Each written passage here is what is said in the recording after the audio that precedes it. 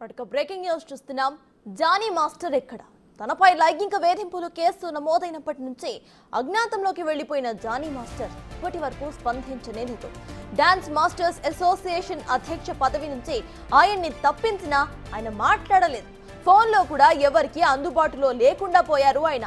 Shooting కోసం Johnny master Mumbai వెళ్ళాడని సన్నిహితులు చెబుతున్నారు. రేప్ కేసులో జానీని పోలీసులు అరెస్ట్ చేసే అవకాశం ఉండటంతో ఆ భయంతోనే ఆయన అజ్ఞాతంలోకి వెళ్ళిపోయినట్టుగా తెలుస్తోంది. ఇక మరోవైపు మతం మార్చుకోవాలని హిందూ యువతిని జానీ వేధించడంపై హిందూ సంఘాలు మండిపడుతున్నాయి. ఇది లవ్ జిహాదే అని జానీపై కఠిన చర్యలు తీసుకోవాలని డిమాండ్ చేస్తున్నాయి.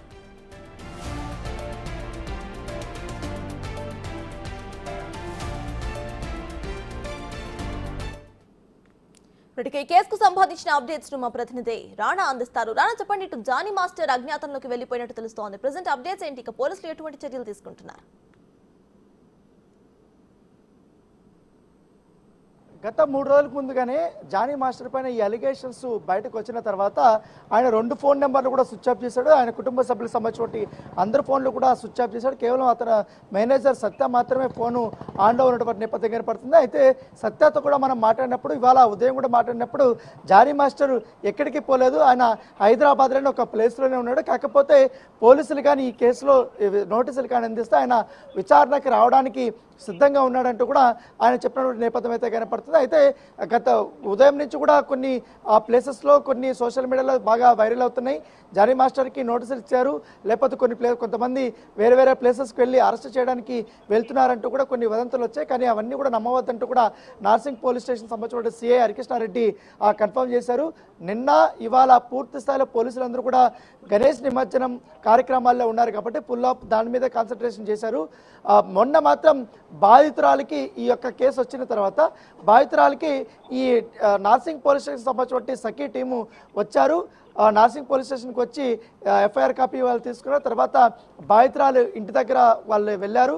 వెళ్ళిన తర్వాత దాదాపు బాధితురాలతో రెండు మూడు గంటల పాటు కూడా సఖీ టీమును అలాగే నార్సింగ్ పోలీస్ స్టేషన్ సంబంధించినటువంటి లేడీ ఎస్ఐ వీళ్ళందరూ కూడా అక్కడికి వెళ్ళారు. వెళ్ళిన తర్వాత బాధితురాలతో మాట్లాడారు. బాధితురాలు మాట్లాడిన తర్వాత అక్కడి నుంచి భరోసా కేంద్రానికి బాధితురాలు తీసుకెళ్ళారు.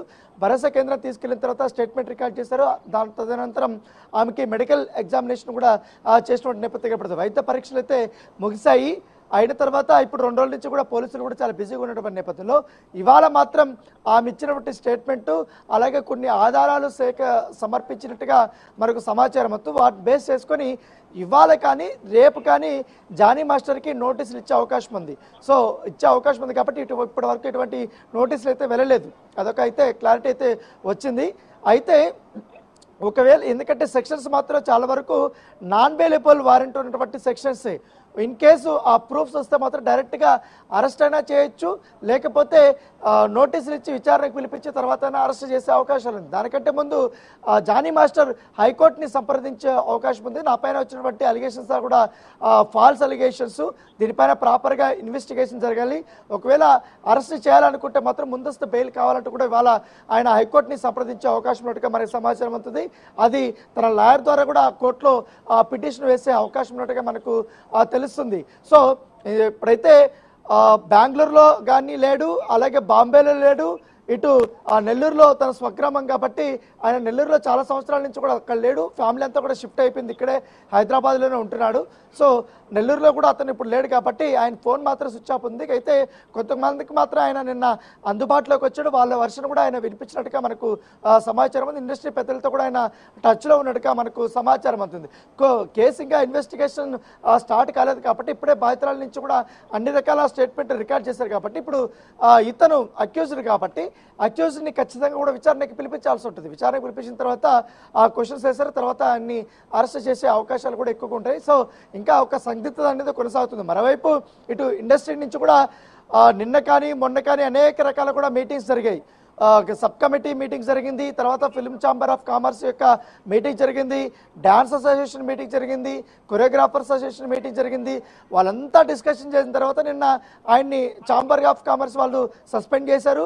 ఆయన సభ్యత్వాన్ని కూడా కొన్ని రోజులు హోల్డ్ చేసినటువంటి నేపథ్యం కనపడుతుంది. మరోవైపు జనసేన పార్టీ కూడా పార్టీ కార్యక్రమాలకు పూర్తిగా దూరంగా ఉండాలనేసి కూడా ఆయన్ని సస్పెండ్ చేసినటువంటి పరిస్థితి ఇప్పుడు సో ఇవన్నీ జరుగుతున్న నేపథ్యంలో ఇప్పుడు జానీ మాస్టర్ ఎక్కడున్నాడు?